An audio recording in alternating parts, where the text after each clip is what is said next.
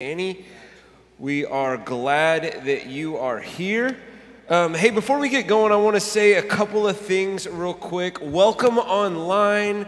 Um, welcome in person. Good to see you guys today. Uh, what I want to say is this: is that we, since its inception, like we are uh, in a couple of months about to celebrate our fifth birthday as a church. Right? It's incredible. And I have not done the hard math yet. There's a few of us that probably need to jump in and do the hard math so I can report and give you an honorable number that is the truth, as we're going to talk about today. Uh, we're going to talk about truth telling. Um, but I think that as a church, in our first five years, we've given something like a quarter million dollars away, which is insane, right? That's cool. Because we've talked about from the early days that if, you know, God forbid we ever cease to exist, we want to be a church that is just poured so much into our community that there's, there would be a deep groaning or deep longing in our absence. Um, so, that said, hey, um, we have got uh, a few weeks before our Christmas offering. So, I need you to start getting prepared for that. Um, which, which I guess what I'm trying to say is don't spend all your money um, on Christmas and prepare so that we can give sacrificially and generously outside of what, you know, to what we are doing as a church. Um, not for what we're doing here, but for what we want to do for our community and for our neighbors um, out there. And, uh, and, and, I mean, honestly, we're, we're just spending the last couple bucks of last year's Christmas offering. Um, we've done our, our final serve day back in September, but now um, in the next couple weeks, we are going to be serving 150 families in need Thanksgiving dinner. And we're doing that still from your generosity from last year, last Christmas offering. And if you hit that QR code on your seat, you can sign up to, to serve that. That is one of my favorite events to be at. So I have one of those spots already. I will be there because I love um, serving the, the, the, frozen turkey and putting in people's trunks and, and some of that stuff. It's just fun. Um, so you can do that, but also I want to get you to pre- prepare um, to give for our Christmas offering sacrificially and generously um, so that we can continue to bless our community. Last year we raised 40,000, like $43,000 and $43,003 and like six cents or something like that. So let's, let's do it again. Let's prepare. Um, I also will say this is not just through our Christmas offering, but through other various things. Right now in our courtyard, we have Colleen out there, and she's got the little tree there. And on the tree represents kids that live in an orphanage in Tijuana. And you can you can grab one of the pieces of paper, and in it it talks about the kids and some of the, their likes and, and dislikes and stuff. And then you can shop for them for Christmas okay? And bring those gifts in the next few weeks or next couple weeks, and then you can be a part of even signing up to taking those gifts down to an orphanage. Um, I think it's on December 8th, but we're not going to let too many of you go because we got to have church still that day right here. So, but a few of y'all can go. and if you get signed up real quick. So, um, all that said, um, we got some exciting stuff coming up this Christmas. Um, to which, as a church, we can be generous and be sacrificial and give of ourselves as Jesus instructed and commanded. So um, I said that. Let me say one more thing before we get going, okay? Tuesday's the election. Tuesday's the election. That said, what I want to do right now is I want to pray right now as a church body, as people, that at least Church 180, I'm gonna pray for all the churches in San Diego in our country, but at least Church 180, that we can be little Christs, that we can be Christians this election. That we would not put our hope in the next leader of our country, but that we would put our hope in a resurrected Savior. Um, and that we would exercise our right as a, as a free people who live in a great nation, but we would not be uh, a part of a society that is about name calling and just ugliness and, and all the, all the garbage that you just see whenever you turn on the news or watch the news. That we would not be caught up in that, but we'd be caught up in Jesus' business and that we'd be caught up as his followers in the midst of it. You, you hear me on that? So, so I'm just going to pray for you. I'm going to pray for me that we can just be people of integrity and be people who follow Christ well and extend his light in a dark world. um, right now. So, Jesus, I, I pray for it all. I pray for this message. I pray for this week. I pray, Lord, that we would be people who, um, God, put our hope in you um, more than any man or woman. That we would be people who fall at your feet in worship, Lord. That we would uh, be people who passionately love the things you love, hate the things that you hate um, that we would hold our convictions, we would hold them with integrity and love, Lord.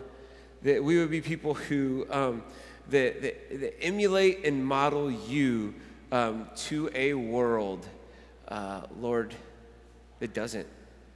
And so, God, help us, give us the integrity, give us the courage, and give us the resilience um, to be uh, just close followers of you in the next few days. It's in your name we pray. Amen.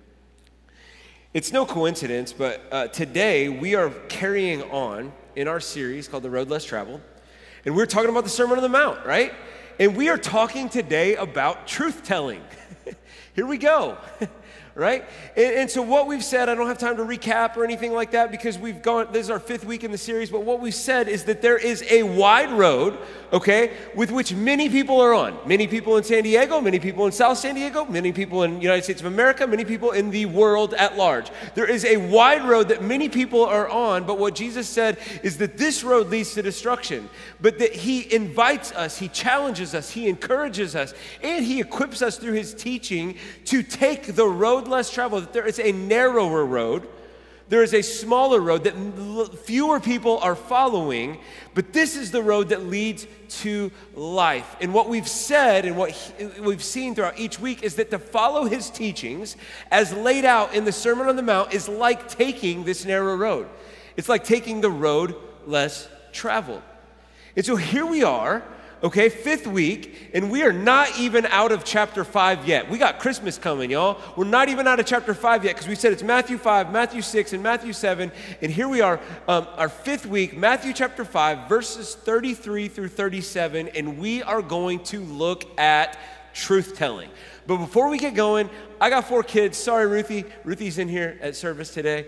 Um, I, I, got kid stories, uh, none, of, none about her today. What is it, okay? What is it about kids that are so good at lying? Right? Like my four year old, William. Okay, he like I had a story prepared, but then I was like, well, yesterday morning then happened. Yesterday morning, I kid you not, Halloween, you know, ended. They went trick or treating. They got all the candy in the neighborhood, um, and, and and so we've been giving them a little bit more candy than usual lately, and we're you know a little bit more apt to say yes, and then at some point this week, the door closes and no more candy, right? For a while. And it just becomes a community bin that you get for good behavior and incentives and all these other things. But for right now, we've been a little bit more liberal with it. But, um, but, but lately, uh, well, not lately, yesterday morning, William, I did not know that he had negotiated with mom. And mom had said, hey, you can have some candy, but you need to eat breakfast first. Okay?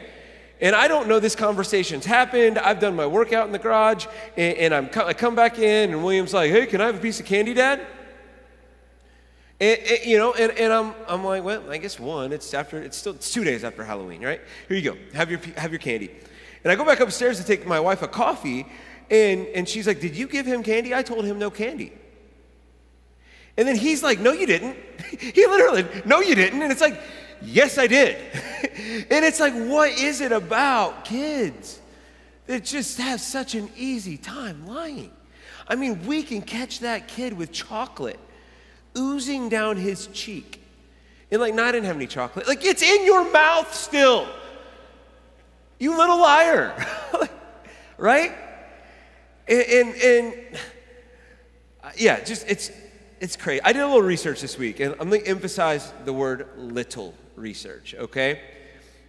And this does not go well for me in some ways, but I did a little research this week on Google, CBS survey that said this. It says, We, you and I, we lie on average as a society four to 15 times per day. Four to 15 times per day. Um, this is the part that's not good. Men, on average, lie six times per day and women, on average, lie three times per day. What is it about men? What the heck? Um, if, okay, I, I, I did this. If we only lie four times a day, we would lie 1,460 times per year. It's if, if you're on the lower end of, of, of lying, you only lie 1,460 times a year. In the upper end, I didn't do the math for you. You can do it 15 times 365. Go for it. We are lied to on average of 10 to 200 times per day. We're lied to. We are 54% accurate in detecting lies. That's it. I would think we were better. I think I'm better, but I don't know. And evidently, okay, I'm sorry, I'm sorry, teenagers. We are, this is probably why we are a church that's bent on the next generation. Like we sacrificially serve our community, that's one of our distinctions. And then another thing we say is that we uh, over invest. We over invest into the next generation. We believe in that. And I guess one of the reasons that we over invest into the next generation is that studies have shown that teens are the biggest liars in culture. Sorry, that's just what the studies say. Crazy, right? And I think about this and I'm like, well, why, why do we lie? Why do we lie? Okay, I think there's four reasons why we lie, just real quick reasons. It's easier to lie sometimes. I think that we think we'll look better when we lie sometimes. I think we lie to save face sometimes. And I think that sometimes we think that the lie will get us ahead in life. Nonetheless, here's the, here's the thing the tension that we all live in is that we live in a world where the trustworthiness of our words is routinely questioned, right? We do. We live in a world where the trustworthiness of what comes out of your mouth and what comes out of my mouth is routinely questioned. And what we are going to learn from this passage today, that we're going to study in the Sermon on the Mount, is that the integrity of our words is central to our witness to Jesus. The integrity of our words is central to our witness to Jesus. So, without further ado, let's jump in. We're Matthew chapter 5, verse 33, and it says this. It says, again, so, so let me stop, stop you right there because I, I said we weren't going to do too much recap, but I have to do this because Jesus said it there. He said, again, and this is Jesus once again going back in their minds to Mount Sinai in Moses in the Ten Commandments. And him once again saying, I am the new Moses. Because what did we see? What did we hear, right? You, you don't have to have grown up in church, be around church very often. You've heard the thou shalt nots a lot of times in our culture. And last week we talked about thou shalt not murder, got turned into anger. And this week we're talking about thou shalt not lie. And then Jesus is going to fill in his commentary for being the new Moses for what Moses had said to the people of Israel at that time. And he says this He says, Again, you've heard it said to the, that it was said to the people long ago, do not break your oath, but fulfill to the Lord the vows that you have made. But I tell you, do not swear on an oath at all, either by heaven, for it is God's throne, or by earth, for it is his footstool, or by Jerusalem, for it's the city of the great king. And do not swear by your head, for you cannot make even one, one hair white or black. All you need to say is simply yes or no. Anything beyond this comes from the evil one. Anything beyond this comes from the evil one. That's harsh. See, and, and, and here's what I want to do I want to unpack what Jesus is getting at and the, the, historical context and setting that's going on there. And then I want to talk about what this means for you and what it means for me, if that's cool. So, this was written primarily to an oral society, okay? So, what, what I mean by that is that very few people could read and write uh, in, in this time and in this culture. So, much of what what, they, how the way that they functioned was through oral words, right? Your word was your promise. Your word was your oath. Your word was your bond. Like they, this was pre contracts. This was pre litigation. This was pre, I'm going to take you to court. This is pre, like what we say in our day and age is like, I need that in writing, right? Well, they didn't have it in writing because they couldn't write, okay? So this is why so much of Scripture talks about how to, to, do this before witnesses, right? Because it's like, okay, together we are going to hear you say that so that we can say, we, not I, heard you say this thing that came out of your mouth. This is an oral society.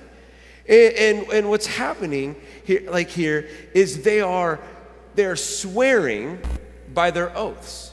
So they're, they're giving their word, and then they are in turn trying to add something onto their word to give their word an oomph, like a, like a little bit more legitimacy, right? And so I, I think about that with me, and it's like going back to my kids. It's like inevitably, like my kids lately, they're always playing with their friends out back. They're always, you know, up to good and no good out back. And even right now, it's like they're they're out back a lot of times, and they put together little creations, and then they get out a table from our backyard and they start to sell things to our neighbors in our neighborhood whether that be bracelets or baked goods or anything that they think of, they're like, okay, let's sell this stuff. And I mean, it's only going to be a couple of days before they start selling the candy that was given to them by their neighbors back to their neighbors in some kind of weird packaging or good packaging, right? But what ends up happening is that whatever they're doing, specifically with these sales that they do, uh, the thing that I like is that they're having to negotiate with each other, right? Negotiate with their siblings, negotiate with their neighbors, negotiate with whatever. And inevitably, I'll be listening and working on something in the garage or whatever, and you will hear the words come out of one of their mouth in the form of negotiation. And it'll be like, hey, we've worked out some terms and we worked out all this stuff. And then the phrase will come, do you promise? Right? Because that word prom, like, yes, I promise, right? That is just a form of adding an oomph to what you've said, right? And so, right here in this culture, this society, this day, this age, for them to swear on God was like you had to do what you said you were gonna do if you swear on God. So, they wouldn't swear on God and they would swear on things like holy cities, right? And they would swear on different things like, I swear to you on Jerusalem that I'm gonna do this.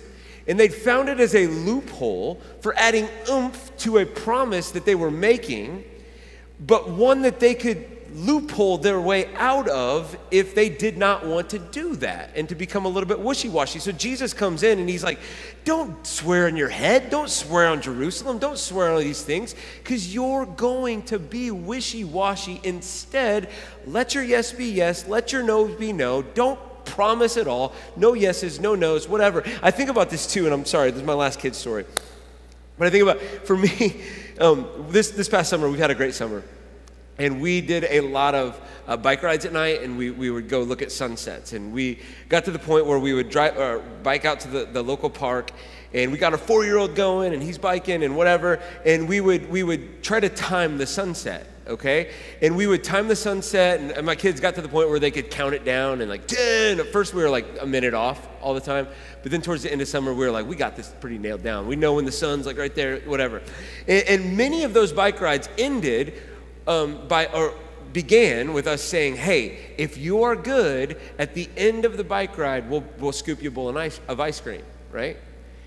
And, and then it would end like, hey, you were good or you weren't good, and here's your ice cream, here's the cookie dough, here's the chocolate, here's the whatever. But some of these days, Kelsey and I would legitimately be like, we, we cannot, in good faith, as good parents, give them any more junk food today. So no ice cream. And we would try to say we weren't, but the bike would end, or the bike ride would end. We'd get back home, and right, the, the kids would, could we get chocolate tonight? Cookie dough? And we'd be like, no, we're not, this isn't an ice cream night. This is not an ice cream night at all. And what they would say back to us, right? But you promised. I did not promise. No ice cream, right? And everything that's happening is, in this text is around people's words. And but you promise, but you promise, but I promise, and I swear by this. And Jesus just comes in and he says, Let your yes be yes, and let your no be no. And then he takes it so far to say in verse 37 that anything beyond that is evil and from Satan. That's crazy. That's harsh. That's the Sermon on the Mount. That's the road less traveled, isn't it? And I think about this, and what is it about this cultural moment that people don't necessarily take us at our word? Why is there so much skepticism in our society about people doing what they said they're going to do when they said they're going to do it? Why is it? Because I think we live in a world where the trustworthiness of our words is routinely questioned and the integrity of our words is central to our witness to Jesus. And here's what I want to do I want to talk about why this is probably a problem in our society and hopefully what we can do about it. So, two reasons that we can become unreliable and wishy washy in our society. Number one is this is that we don't like to disappoint people. Right? I don't know, is that you? That's me. I don't like to disappoint people. in a room this size, I would think that there's probably a lot of us we don't like when people are disappointed in us. And, and I remember I've used um, this example so many times. It's so life transforming and life transformational for me.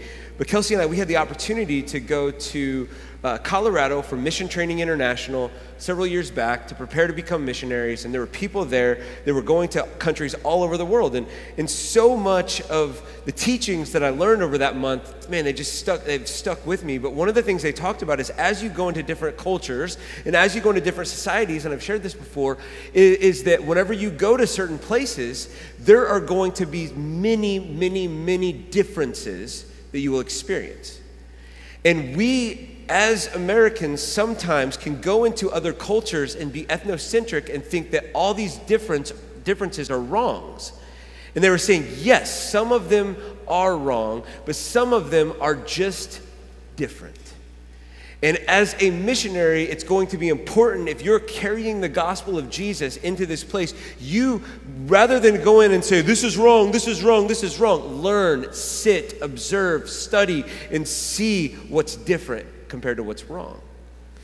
But they were saying one of the things that you will see that is wrong in some cultures, and I think we have a little bit of this in our culture, is that they were, they were saying there are certain cultures that some of you guys are moving to where you are going to go to that culture, you're going to go to that country, and you are going to invite somebody over for dinner, and they are going to say yes, and then they are not going to come.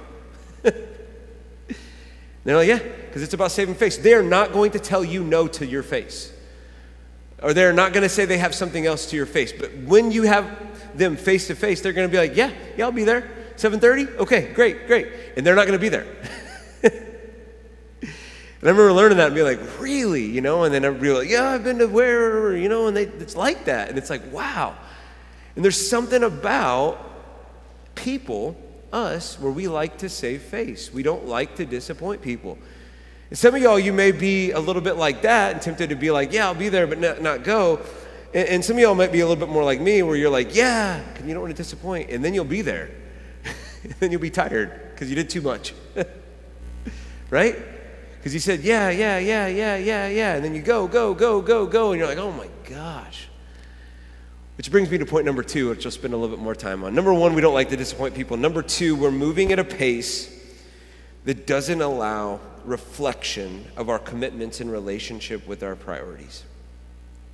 We're moving at a pace that doesn't allow reflection of our commitments in relation with our priorities. One of the things I talked about last Christmas season um, is just the eras, not Taylor Swift Eras Tour, but the eras that we've lived in as a society, okay? And one of the eras that we have found ourselves in as Americans and as people in the world is we've found ourselves into a big cultural shift that many of us are a little bit unaware of, right? And so, what we've had, uh, you know, back in the 1950s, 1960s, 1970s, whatever, is we had a society that was very disciplinary. Okay? And when I say disciplinary, we were we lived on basically two principles. Okay? Number 1 is that you ought to do this and you should. And number 2 is these are all the things that you cannot do based on whatever. So here's the things you ought to do, and here's the things you ought not to or you cannot do. The restrictions that you have based on how much money you have, or based on the opportunities that you have, or any of these things. So this was the era. And now we've taken a few sh- shifts over 1980s onward into 2024 that we're in now, and we are almost becoming a people that are just inundated with these are all the things that you can do. We're not going to talk about what you ought not to do. We're not going to talk about what you ought to do. We're not going to talk about what you can't do. We are going to basically throw every all these different opportunities. What do you want to do with your life to maximize it? What do you want to do? You want to work out? Well, here's working out on steroids. Go for it. You want to you want to be somebody who goes and lives, you know, an adventurous extreme life of vacations or whatever? Like like here's a travel guide, a travel book. You want to be a kid that maximizes their potential? You want to have kids that maximize their potentials? Here's potential. Here's the 75 things that you can sign them up for that will make sure that they live a great life and become a great human being and a great person. Right? Like you think like think about it. Like we live in a society that says doesn't say no, but basically throws everything at us at scale. And, and, we just find ourselves like, well, I could do this. Well, I could do this. Well, I could do this. I can do this. I, I, you know, I, and we think that we can. And it's almost as if one writer was saying, it's almost as if we are, I use this word lightly, but it's almost as if we are a society that is being oppressed by options. right? And the real danger in this, and I think this is what Jesus is getting at with it being evil, is that whenever everything is thrown at us at scale and opportunities abound, and we could do everything, that it's like throwing our lives in a washing machine. and we don't know which way's up and which way's down. And we can't make sense of our priorities and our values in light of that, right? I was talking with our staff this week, and it's almost like it's almost like so many of us, you, you know, we, we come into this room and, and, we honestly, like when the song plays, You Are My Champion, when the next song plays, like we're going to stand and there's going to be some of us that raise our hands. There's going to be some of us that close our eyes. There's going to be some of us that want a moment with God. And we know deep down intrinsically, right? We just know, like if you've followed Jesus for some time, if you haven't, man, I just, it's, it's beautiful and it's a wild ride. But it, there's, for, for many of us that follow Jesus for a while, he like, he's demanding. He wants all of us, right? He wants our lives. I mean, there's passages where he says, if you want to follow me, you must take up your cross and deny yourself and follow me. There's other passages where, where Jesus is saying, like, he's like, if you want everything, if you want the whole world, if you want all the cans, the could be's that are thrown at you, and you want all of them, you can have them, but you'll lose your life. But anybody who finds me and searches after me and searches after life in me will find what they're looking like jesus says all this we know all this stuff and i think that it's almost as if we if we were to like look i mean for, for, lack of nothing better we, it's almost as if we were to like have a hierarchy ranking of our lives and to place our values and priorities many of us who've stepped across the line to follow jesus in this room would say okay number one is my relationship with the lord right? I think when we get in a room we're and, we, and we're serious and we sing songs like You're My Champion and all these different things, we would be like, Yes, that is my number one. I need a rock solid relationship with Jesus. Many of us would say that. And then for, for many of us too, like following right below that would be like, hey, I have a spouse and I need a rock solid relationship with my spouse. Uh, I have some kids that fall into here maybe, and I need, you know, to be a great dad or a great mom, a great parent when it comes here. To be a great dad, great mom, great parent, I got to make a little money to, to help be a great dad, great mom, great parent, and spouse, and and you know, and then whatever else, right? Like there's other stuff. There's a five, six, seven, eight, nine that happened there. But the problem is, is that we as a society move at a pace of could be, can do options where it's almost as like these things are flying at us. We're saying yes, we're saying yes, we're saying yes, and the life the washing machine of life tumbles everything around, and all of a sudden, fives become twos, sixes become ones, fours become threes, ones become seven. You get what I mean? And all of a sudden it's like, wait, wait, wait. and I got a loan. My value is one, two, three, four, five, six, seven. But the washing machine of life, the pace of life, the freneticness of life has, has made me say yes, yes, yes, yes, yes, yes, to where like the washing machine's happening over here. And it's like, I don't even know what I value or what I prioritize anymore because I've said yes to so many things that this seems like a great option now. But then we let go of this, and you, you, you get what I mean? Like it's just, and I really do think that that's why Jesus said, let your yes be yes, your no be no, and anything beyond that is from the evil one. Because there is nothing that Satan would like more than for you to make a seven a one. There isn't. There's just nothing. Because at that point, it's like, what are we doing? You get a few years on this planet and you're gone. And you're going to live for that? And you know what I mean? And then, and then here's where, I mean, here's where the text kind of lays it out is that, and then we become people where our word doesn't mean anything. And we say yes to things we should say no to. We say no to things we should say yes, or we don't go, or we're not dependable, or we're unreliable, or we're wishy washy. You, you, know what I mean? It just becomes an epidemic and a problem. And I think Jesus, a couple thousand years ago, speaks right to you and I, and he just says, man, it's going to be a great thing when you figure out your priorities and you say yes and no based on your priorities and your values in life. It's going to be a great thing. It's going to be freeing for you. Just moving at a pace that doesn't allow us. And I, I think about this, and I think that the why behind it is that Jesus knew the propensity that this has to harm relationships.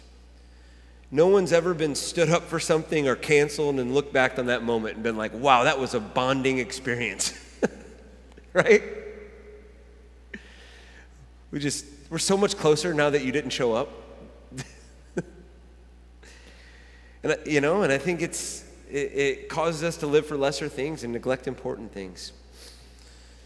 So the integrity of our words is central to our witness to Jesus. Anybody read this book? Anybody? Yeah, we got one. Two. Classics, guys, classics. Okay. Horton hatches the egg. I'd never read it till yesterday either. I'd read the synopsis getting ready for the message this week, and I read Horton Hears a Who, but I'd not read Horton Hatches the Egg. It's a masterpiece, y'all. So essentially, this is a book about an elephant named Horton and a bird that is lazy called Mayzie. Mayzie the lazy bird. And Mayzie, the bird, hatches an egg, okay? And starts to sit on her egg, preparing for it to crack. But gets bored and tired and lazy on the job. And so Mayzie the lazy bird says, I would like to take a vacation to Palm Beach. And so she sees Horton pass and Horton the elephant, and she says, Horton, will you sit on my egg? And Horton's like, I'm an elephant. Elephants don't sit on eggs. I'm gonna crack your egg. He's like, Can you give it a try? Can you just give it a try? So he's like, Okay, sure. And he gives it a try and finds out that he can sit on this egg. And she's like, I'll just be gone for a couple days. And she takes off for Palm Beach for vacation. And Horton's left sitting on this egg and realizes that he's in a tree and needs to prop up the tree. And so he reinforces the tree and gets it all set. And he's sitting on the egg. And meanwhile, Mayzie the lazy bird is off in Palm Beach having a good time on the beach and you know, doing what I guess seagulls do and, you know, flying around. And Horton is sitting here day after day after day after day in a tree on an egg because what his famous line of the book is I meant what I said and I said what I meant. An elephant is faithful 100%. That's the line. And first, the, the tormentors come, like all of Horton's friends or so called friends come, and they say, That's a silly looking elephant in a tree. hey, idiot, why don't you get down? and then after that, the storms come, like the rain, and he's sitting in the, the storms in a tree. And then after that, the seasons change, and his trunk has icicles hanging off of it. And then after that, the hunters come, and he's like, I'm surely thinks he's going to die, and they're, they're pointing rifles at him, and he's like, ah. But I meant what I said, and I said what I meant. An elephant's faithful 100%, and he sits in the tree, and he, and he takes it all in. But then the, the hunters don't hunt him, they capture him, dig up the tree, put it on a ship, and he's out in the ship for a couple weeks, and he's sold to a circus, a traveling circus, because who has ever seen an elephant in a tree sitting on an egg? right? And so people come from everywhere to see an elephant in a tree sitting on an egg, and he's faithful the whole time. And eventually, the circus ends up near Palm Beach. And that's where we'll pick up today in the story, if you'll bear with me for a children's book in church. We're going to do this more often. Then one day, the circus show happened to reach a town way down south, not so far from Palm Beach, and dwaddling along way up high in the sky, who of all people should chance to fly by? That old good for nothing bird, Runaway Mayzie, still on vacation and still just as lazy and spying the flags and the tents just below. She's saying out, What fun! Why, I'll go to the show. So she swooped from the clouds through an open tent door. Good gracious, gasped Mayzie, I've seen you before.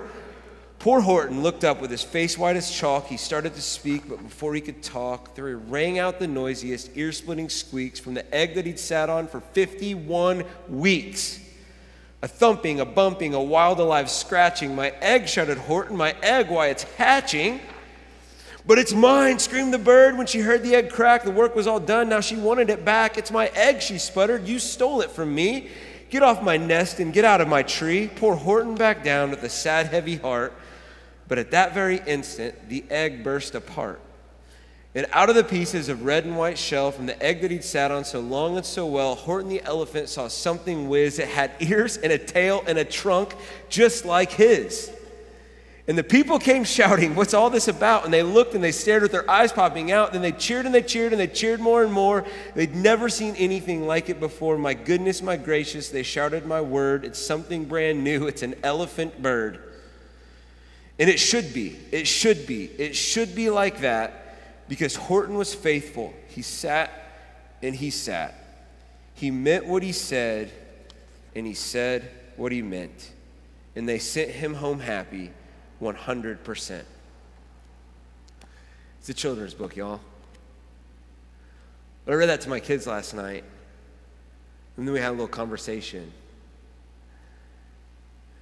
And they're like, that bird is trash. that elephant is cool. and it's just in a simple moment. It's like, man, don't you want to be like the elephant, guys? Don't you want to be like the don't you want to be faithful? Don't you want to mean what you say and say what you mean and let your yeses be yeses and noes be noes? Because I think that's what Jesus was getting at. I think that's echoing down. And, and, and, what, I, what I said earlier, band, you guys can go ahead and come on forward if you're around. And what I said earlier to, to first service is this, is that so much of the commentary that we see from the Sermon on the Mount and the teachings and the commands of Jesus. So much of it is just coming back to that reality of what we said in week one or two is that you cannot love God without loving people in your life. You can't. You can't and, I'm adding a little commentary onto this, but I mean, it just seems to add up and it seems to make sense. But it's almost as if Jesus is saying with the commentary of the rest of the Sermon on the Mount, after he said so much of what he said, is that the greatest command is to love God, to love people, and all these different things. It's almost like God's coming back and with the commentary, he's filling in and he's saying, with your words. The most loving thing that you can do for the people around you, the most loving thing that you can do in society at large with your words and with your oaths and with your promises and with all these different things is to let your yes be yes and your no be no. And when you do that, you will love those people and you will love me through it. You will be a person who is a strong witness for me through the integrity of your words and the faithfulness of who you are. But we're going to have to get over disappointing people and we're going to have to get over frenetic lives that don't make any sense of any values and priorities that we have so that we can live for Him. And I share all of this so I can share this last verse because I think the, the heart behind our yeses being yeses and our nos being nos,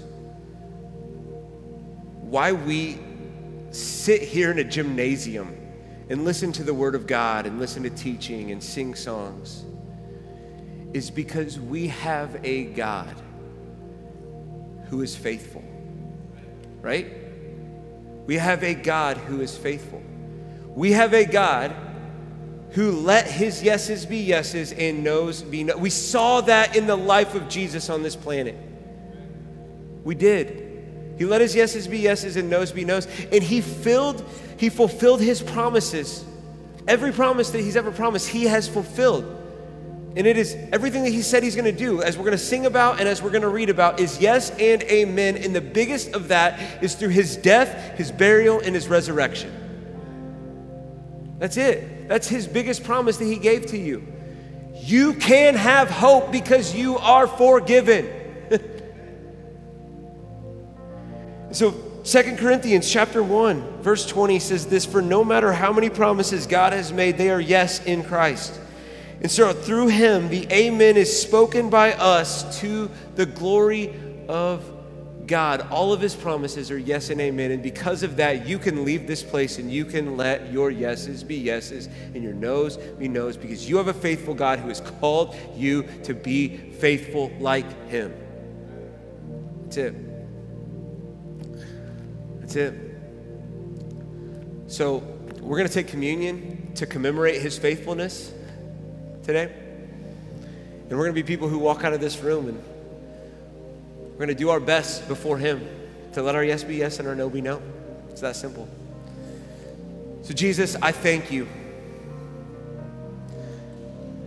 Thank you, God, for your blood that was poured out as the fulfillment of your promises, for your body that was broken as the fulfillment of your promises